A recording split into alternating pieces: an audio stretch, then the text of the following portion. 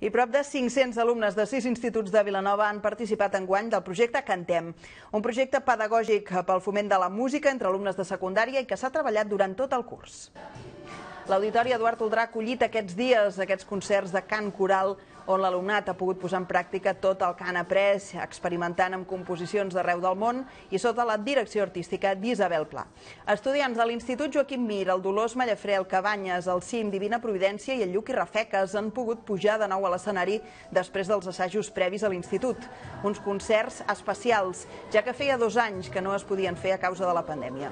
Les veus han tornat a l'escenari i s'ha aprofitat alhora per enregistrar el concert, que formarà part d'un documental sobre tot el procés pedagògic d'aquest projecte Cantem. El resultat del documental es podrà veure el 19 de juny al mateix auditori Eduard Oldrà. El cant coral serveix aquí com a eina de participació, de cohesió i de treball en equip, entre molts d'altres valors.